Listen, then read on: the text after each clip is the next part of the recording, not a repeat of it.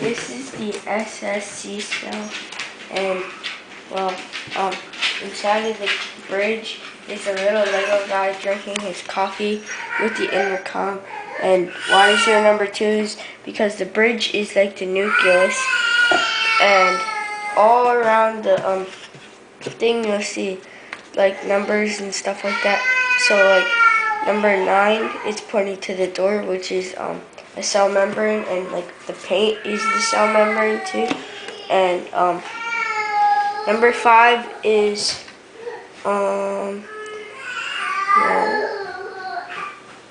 Here, let me grab Number- Jonas real quick. Hold on.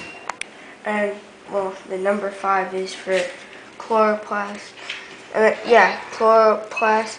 No, chlor- chromosomes, and they're like computers. And number seven is um, Golgi bodies, and it's like the intercom.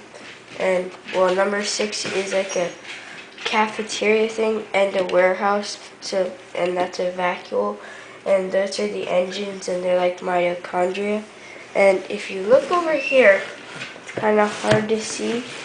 But right there it says number eight, and that's the water filter, and then and that in the cell is chloroplast. Okay, good.